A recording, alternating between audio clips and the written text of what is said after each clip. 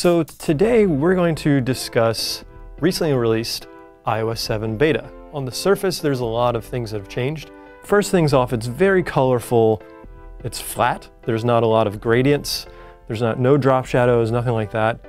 Here you can see the font has changed. You know, we're lots of lots of Helvetica.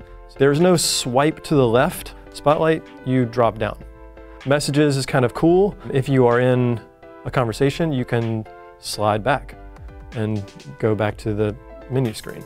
Newsstand has changed. It's not a bookshelf, it's just a color, blurred color gradient. I don't like this. You can't really see that it says newsstand down there. Calendar is more like a timeline. Now that down here is an inbox. When you used to get invites and you accepted them, they would disappear.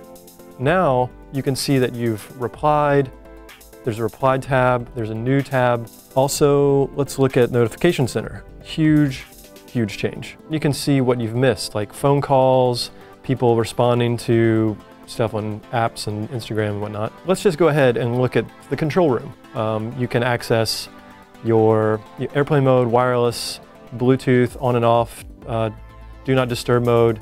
You can change the brightness. You can listen to music, adjust music.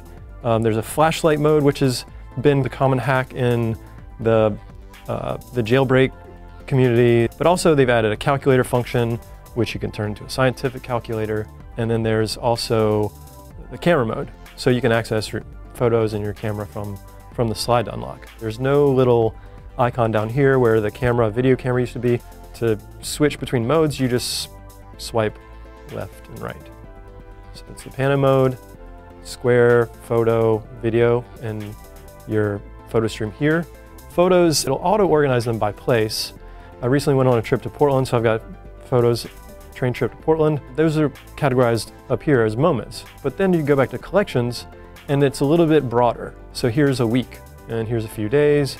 But then I go back to years, and you can see it's by year. Let's go into uh, music. And here you have radio stations, which is pretty huge if you look at Pandora, the success of Pandora and Spotify, things like that. But now you can, I can listen to songs and it offers me a chance to buy the song on, um, on iTunes. Previously, Game Center was a felt, green felt card playing, card deck kind of looking thing. And now it's changed. Uh, it looks very Pixar. This is kind of a cool thing. In order to use the compass, you have to, you have to like tilt your phone around and then it shows um, like a little calibration thing. So there's the compass, but to get it super flat, this circle has to be etched in the crosshairs. Previously, when you double tapped the home button, it would bring up all the apps that are running underneath the dock.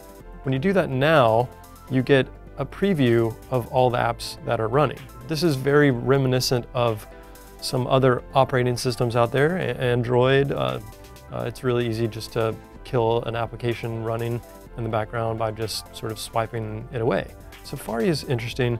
On the bottom, you can see these icons. This is like a back button, forward button. I'm not sure what this one is, but when you click it, I believe it turns into a share button. And then when you click to view your pages, you can sort of swipe through them like a Rolodex, which is kind of nice. And then just kill them like this. So, okay, let's go into settings. Um, I found some bugs in settings, so like if I go change something airplane mode or I've turned Wi-Fi on and it's still off. It doesn't always match up. This is beta, and there are all these like little kind of little weird quirks. Uh, for example, the badge on the social apps thing here, my folder, I'm gonna click this and watch what happens to the, the number. See, it sort of shifts, and it's not as smooth as you would expect Apple designed to be. Battery consumption is really, really high on this beta. I wouldn't recommend it to an average user.